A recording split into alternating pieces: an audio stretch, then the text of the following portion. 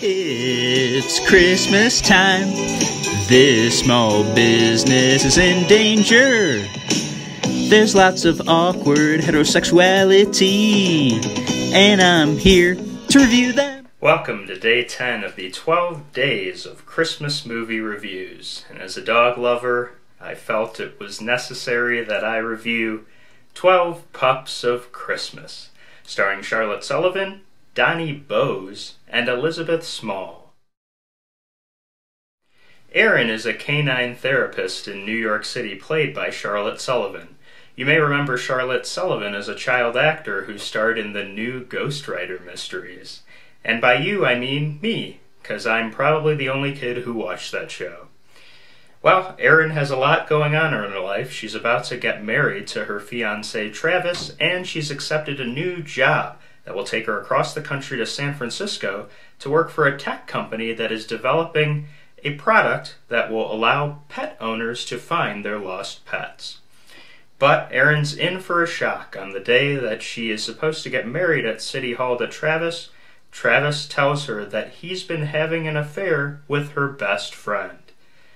Devastated, Erin leaves and heads to San Francisco, where she begins her work at Doggone, when arriving at the doggone offices, she is introduced to Carly, who is one of the individuals who hired her. Carly shows her around and introduces her to her brother, the CEO, Martin. Martin is a pretty boring seeming fellow who does not like dogs at all.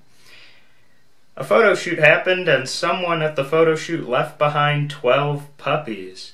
So as a result, Martin tells Erin she should take the 12 puppies and find homes for them.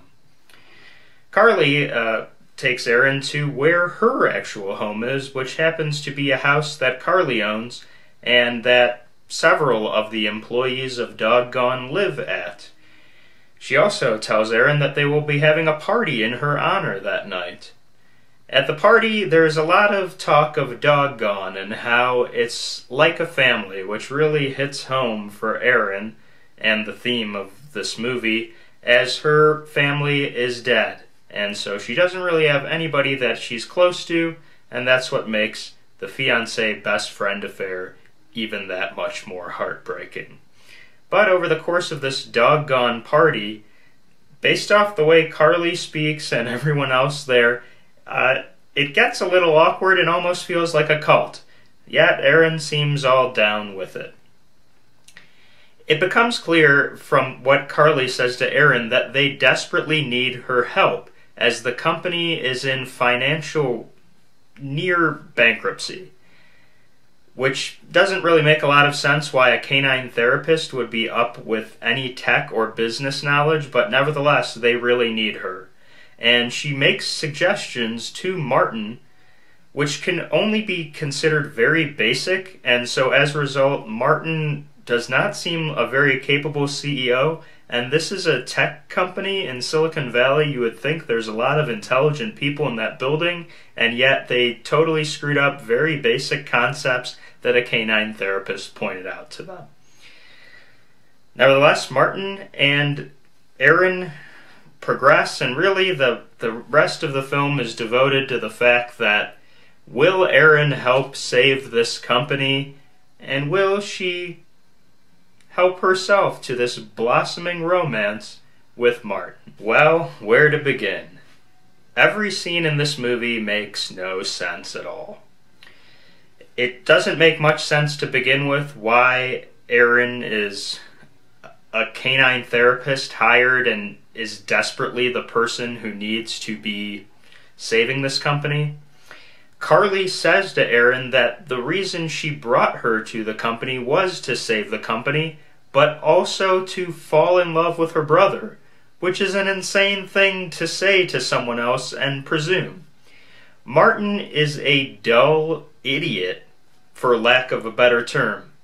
The main point here is in these types of movies, you're hoping for some chemistry among the leads or some reason to cheer for these people. That's not the case in this movie. Erin is seems miserable. Uh, even for a lead in a Christmas movie, even after a devastating, heartbreaking situation, you'd think you'd smile some more, feel happy, be into the Christmas season. Doesn't even feel like Christmas is going on right now.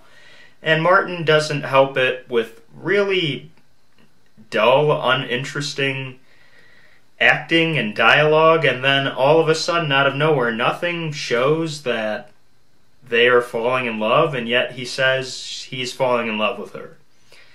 So this movie is just really bad. It doesn't make any sense, and its most offensive part is that it's called The Twelve Pups of Christmas, and the puppies really don't matter at all to the plot. Uh, I guess they come off as being the way that Erin can show Martin he can truly love dogs, but it's an ineffective plot vehicle. This is the wrong title for the movie. It really should just be called Christmas in Silicon Valley or something stupid like that because they just used the puppies in no way that made you which is the whole reason you're probably watching the movie is like oh, a puppy is in whatever in a christmas movie. It's not there. So as a dog lover i was also offended too.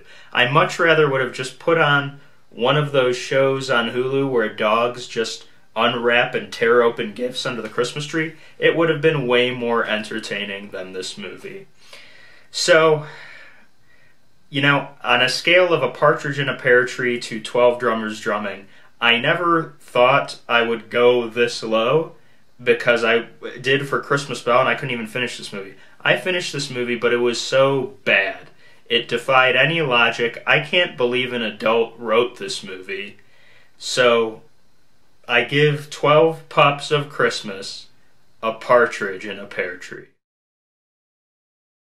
But hey, we've only got two more days left, and I gotta say, the last two are films I really enjoy, so I'm looking forward to sharing them with you. Join me for day 11, where I'll be reviewing The Christmas Calendar.